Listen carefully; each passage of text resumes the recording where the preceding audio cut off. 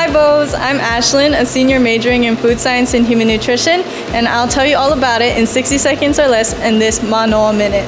FSHN is a major that explores the nutrients and components of food, how it's made, and how it affects our health. I chose this major because I loved both food and science and was curious about my food allergies and how I could develop nutritious yet tasty products.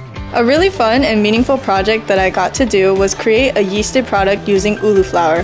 This experience allowed me to give back to my community by creating a delicious and nutritious product from a sustainable and culturally important staple crop in Hawaii.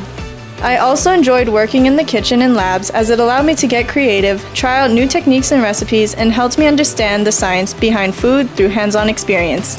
There are five specialized tracks in FSHN, each offering a wide variety of career options from food product development to roles in healthcare and more. Learn about all majors at UH Manoa at this QR code. That's it for my Manoa Minute. Thanks for watching!